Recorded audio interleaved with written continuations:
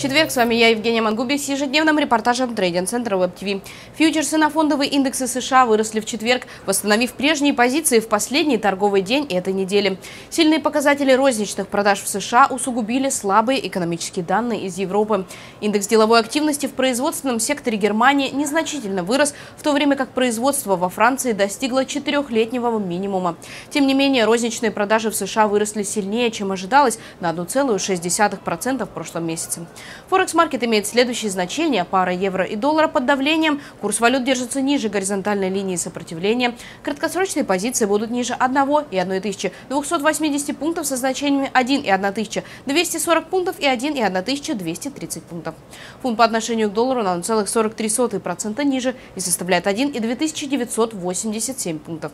Доллар по отношению к японской иене на 0,8% ниже и составляет 111 и 96 пунктов. Биткоин на 0,63% дороже и стоит 5266 долларов. Золото дешевеет, его цена ограничена нисходящей линией тренда.